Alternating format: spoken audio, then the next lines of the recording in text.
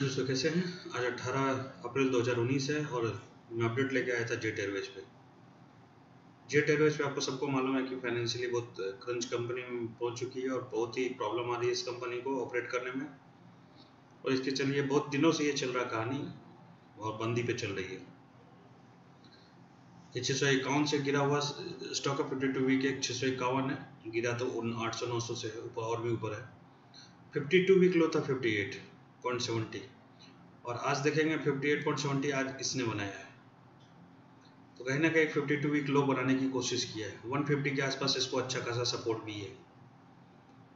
और आज देखेंगे फिर एक बार ये ऊपर 216 की ओर गया। तो लो इसका 50 158 है, आया है 216 216 से ओपन गिर, गिरा है और वहाँ से सीधा 158 की 58 की ओर आया है। ओपन ही हुआ था 216 पे। 240 से जब वहाँ से सीधा गिर के 158 पे आया। और ज़्यादा वॉल्यूम की बात देखें तो जहाँ आपका 18 करोड़ 16 करोड़ 14 करोड़ का एवरेज था, आज छप्पन करोड़ सात सौ सतासी लाख एक सौ अड़सठ का वॉल्यूम हुआ है। हैवी वॉल्यूम हुआ है। सेंटीमेंट यहाँ पे निगेटिव बता रहा है 37 परसेंट माइंग है। मार्केट कैप अठारह सौ इकसठ करोड़ का रह गया अभी सिर्फ़। डिलीवरी परसेंटेज जो है तीन से आपको चार परसेंट पाँच परसेंट बता रहा है। स्टेटर इसमें इन्वॉल्व है। जब तक कोई न्यूज़ नहीं आता, तब तक ये ऐसा ही वर्कआउट करता रहेगा। आज अगर इसके चार्ट की बात करें तो इसने सारे पैटर्न तोड़ते हुए, अपने सारे लेवल को तोड़ते हुए, अपने सारे मूविंग डेली बेसिस पे देखें तो सारे मूविंग एवरेज लेवल को तोड़ चुका है इसने किसी भी मूविंग एवरेज पे सारे मूविंग एवरेज तोड़े हुए हैं डेली बेसिस के। वीकली बेसिस की कहो तो वीकली बेसिस के भी इसने सारे मूविंग एवरेज तोड़ चुके हैं और एक सौ पे क्लोजिंग दिया है। मंथली के भी कहो तो सारे तरह के, सभी तरह के सभी लेवल पे यहाँ पे वीकली इसका जो है, वो टूटा हुआ है। डेली बेसिस पे वीकली बेसिस पे सब पे टूटा हुआ है। और कहीं ना कहीं आवरली बेसिस पे देखें तो इसमें 185 पे लास्ट नाइन कैंडल का मूव था, उसको भी तोड़ा हुआ है इसने। और उसके नीचे 164 पे जाके क्लोजिंग दिया है। अगर इससे मैं वॉल्यूम वेटेड एवरेज की बात करूँ तो ये भी निगेटिव है। 171.64 की जगह 164 पे क्लोजिंग दिया है। तो मैं आपको यहाँ पे इसलिए नहीं लाया कि आपको यहाँ पे ये बताना है कि ये निगेटिव है। अगर डेली बेसिस पे मैं इसका आर देखने की कोशिश करूँ तो आर एस आई अभी ट्वेंटी वन परसेंट आर जो बता रहा है twenty one percent daily basis पे बता रहा है। और थोड़ा गिर सकता है, ऐसा नहीं कि नहीं गिर सकता है। 150 पे अच्छा सपोर्ट है और वहाँ से गिरता है तो 116 119 पे पहले आया था। तो वहाँ पे 119 तक आ सकता है। ऐसा नहीं है कि नहीं आ सकता है। तो मेरे अंदाज से ये आपको एक बाइंग अपॉर्चुनिटी होगी। मुझे जो लगता है, मेरा अपना ओपिनियन है कि मैं इसको 150 के अराउंड बाई करूँ। और चूँकि ये 158 पे आया था तो अच्छी बाइंग अपॉर्चुनिटी थी वहाँ पे। और वापस ये अगर 120 के आसपास 110 के आसपास आता तो वहाँ पे बाई करूँगा। मैं इसको फोर्थ लेंथ में बाई करना कोशिश करूँगा। अगर मेरे पास सौ रुपये लगाना है तो मैं पच्चीस पच्चीस रुपये करके चार बार लगाने की कोशिश करूँगा। और जिस बार से अपवार्ड ले लेगा, वहाँ पे अपवार्ड मैं एवरेज नहीं करूँगा। अगर मैं 158 पे लेता हूँ, उसके बाद अपवार्ड चला जाता है तो मैं एवरेज नहीं करूँगा। वहाँ रुक जाऊँगा। 25 परसेंट के बाद ही प्रॉफिट का वेट करूँगा। और अगर वहाँ से डाउनवर्ड होता तो फिर से 25 परसेंट की बाइंग करूँगा। मेरे अंदाज से ये एक बहुत ही अच्छा स्क्रिप्ट आगे, जो कि एक दिन में, अब आज देखेंगे, एक दिन में मैं आपको पचहत्तर रुपये का गेन लॉस दिखाता है। और लॉट की बात करूँ तो ये बाईस सौ का लॉट होता है। फ्यूचर में। जेट एयरवेज का अगर 165.75 पे क्लोजिंग दिया 25 अप्रैल 2019 की अगर देखूँ, ये पुट है, ये कॉल है डेरिवेटिव में देखने की पोजीशन कोशिश करूँ। तो आपने देखा होगा नेट चेंज यहाँ पे बहुत ही अच्छा हुआ है।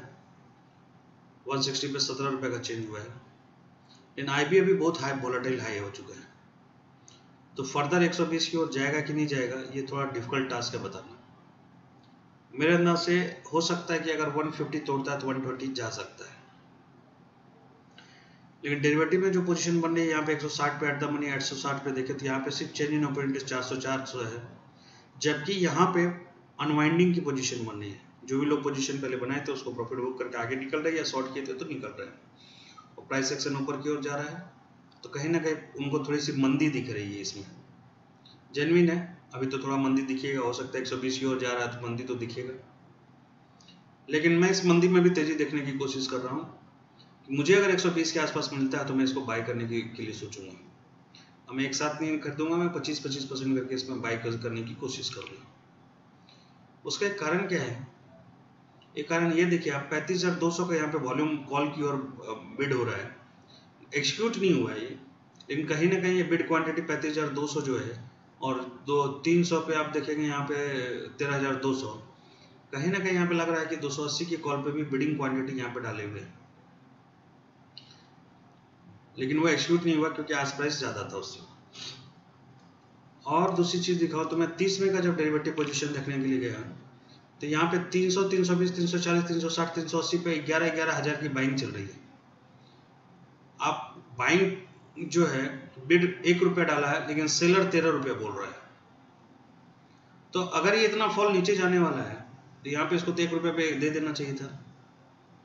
तो ये एक रीज़न है जहाँ मुझे समझ में आ रहा है कि कहीं ना कहीं ये 300 की ओर जाता हुआ आगे दिख सकता है। एक सेंटिमेंटल फॉल हो, या जान के गिराया हुआ हो स्क्रिप्ट ये मुझे नहीं मालूम। लेकिन मैं इसमें फॉल नहीं देखता हूँ, मैं इसमें तेज़ी देखता हूँ। और मैं इसको 120 की ओर जब जाएगा तो मैं इसमें बाइंग अपॉर्चुनिटी खोजूँगा। इंस्टीड ऑफ़ इसमें सेलिंग सेलिंग रीजन खोजूँगा। क्योंकि जिस दिन ये न्यूज़ आ जाएगा, या जिसने खरीद लिया, इसके साथ डील हो गई, उसके बाद आपके पास कुछ करने के लिए होगा नहीं। क्योंकि ऑलरेडी वो इतनी हाई जा चुका होगा कि आप खरीदोगे नहीं।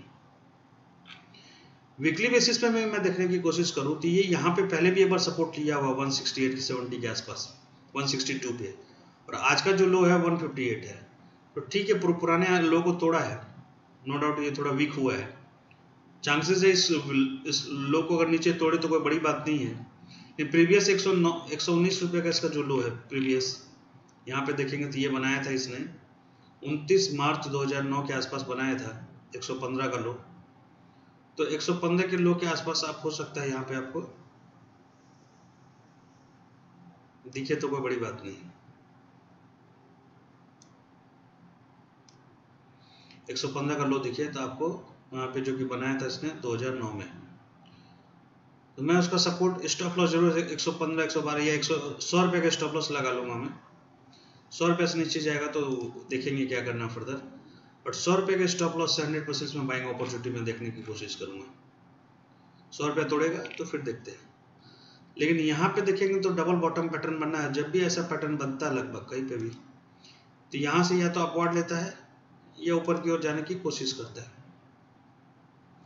तो मुझे लगता है कि इस न्यूज़ के बाद यहाँ पे एक बाइंग अपॉर्चुनिटी बनेगी, अभी भी नहीं भी बने तो जब ये ट्रेंड ऊपर की ओर ले तो वहाँ पे आप बना सकते हैं। 150 पे इसको बहुत अच्छा सपोर्ट है। 150 तोड़ता है क्या? पहले ये देखना है। आज भी जो देखेंगे, ये 158 बनाए 150 नहीं तोड़ा। और अगर 150 तोड़ता है तो ठीक है 120 की ओर जाते हुए आपको दिख सकता है 115 की ओर, जो लो है प्रीवियस लो और अगर प्रीवियस लो को तोड़ता है तो फिर वॉच करेंगे कि नए लो बनाता है कि क्या करता है। मुझे किसी भी हालत में नहीं लगता कि नया लो ये बनाएगा 115 तोड़ेगा। इसमें आर भी जो देखेंगे आप आर भी अगर देखेंगे वीकली बेसिस पे भी देखेंगे, ये 34 परसेंट है। डेली बेसिस पे आपने आर देखी ही। लिए डेली बेसिस पे ऑलरेडी ये 21 परसेंट आ चुका है। और कहाँ तक जा सकता है, ये पहले भी गया हुआ है, चौदह परसेंट तो यहाँ से हो सकता है छः परसेंट और आपको तोड़ने की गुंजाइश दिखे। अगर वीकली बेसिस पे देखो तो चौंतीस परसेंट का सही बता रहा है, ये भी ओवर सोल्ड पे बता रहा है। ये भी पहले लोग जा चुका अठारह परसेंट तो यहाँ से और हो सकता है कि आपको सोलह परसेंट टूटे। और यहाँ पे एक पॉजिटिव बार अब जो है पॉजिटिव बार अब देखेंगे यहाँ पे पॉजिटिव एक बार का सिग्नल भी लास्ट मोमेंट पे आया है। तो कहीं ना कहीं वो एक बाइंग अपॉर्चुनिटी के रूप में लोग इसको देख सकते हैं लास्ट मोमेंट पे आया हुआ है। अगर मैं स्टॉकिस आर की बात करूँ और ये थर्टी मिनट की बात करूँ तो थर्टी मिनट पे चार्ट पे देख रहा था मैं तो आप देखेंगे स्टॉकिस सारे एस इस पे सिग्नल अपवर्ड की ओर दे रहा है। मीन्स थर्टी मिनट के चार्ट पे जो स्टॉकिस आर एस है, वो बाइंग सिग्नल दे रहा है। अब देखिए क्या अच्छे से यहाँ पे क्रॉस कर रहा है। वन आवर के बेसिस पे भी यहाँ पे बाइंग सिग्नल दे रहा है। वन डे के बेसिस में थोड़ा सा निगेटिव ऑलरेडी क्रॉस करके जा चुका है। तो वन आवर और थर्टी मिनट पे देखें तो कहीं ना कहीं ये बाइंग सिग्नल की ओर इशारा कर रहा है स्टॉक सर ऐसे ही। तो R S I overshoot position पे है स्टॉक सर ऐसे बाइंग सिग्नल दे रहा है।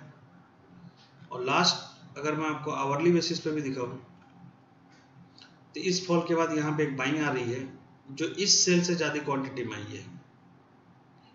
और यहाँ पे भी आप देखेंगे तो ये क्वांटिटी ज़्यादा दिख रहा है, लेकिन प्राइस एक्शन ज़्यादा नहीं है तो जो बाइंग दिख रही है वो ज़्यादा नहीं है।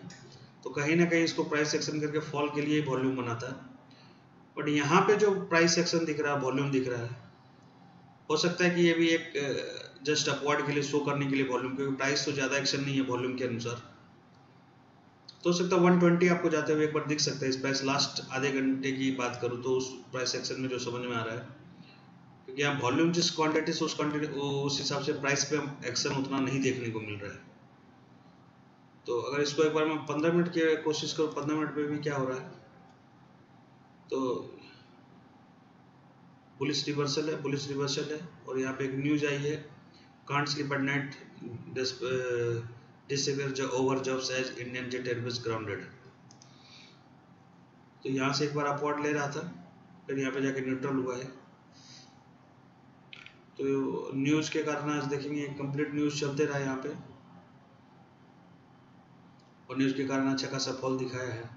पंद्रह मिनट के स्टॉक के सारे से जो बता रहा है यहाँ पे सिग्नल दे रहा है। पंद्रह मिनट पे तो ये नीचे की ओर फॉल बता रहा है।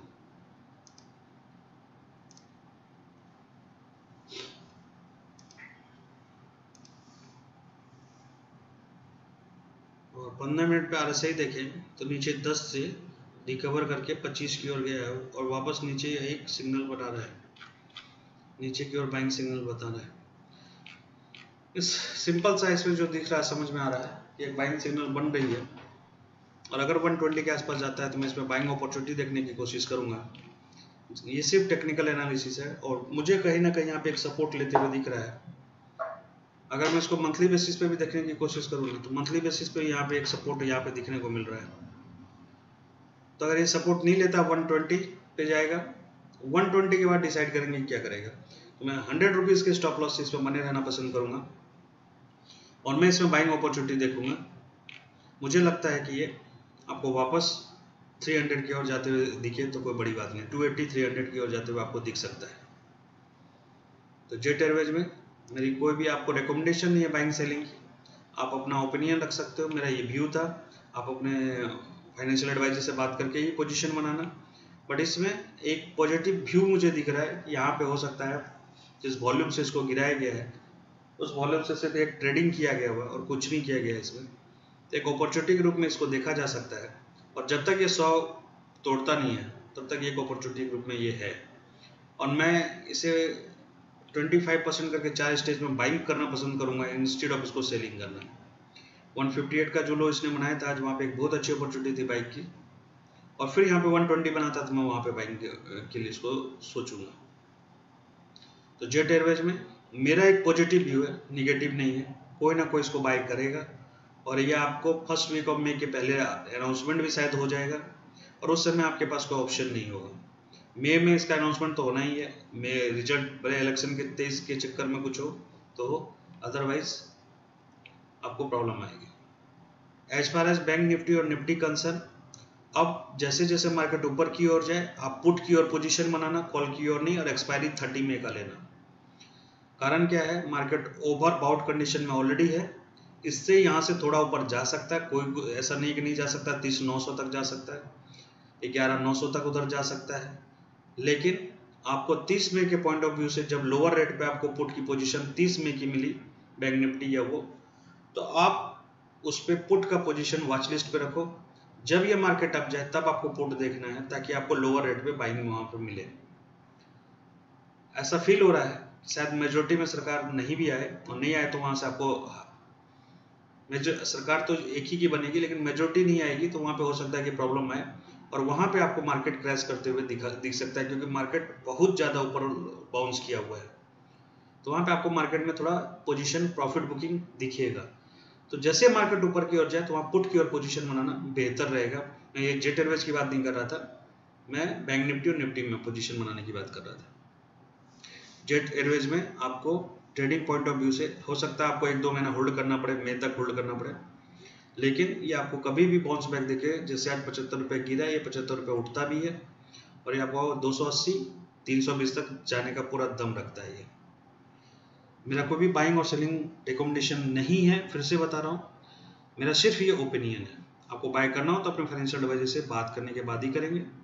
वीडियो देखने के लिए बहुत बहुत धन्यवाद।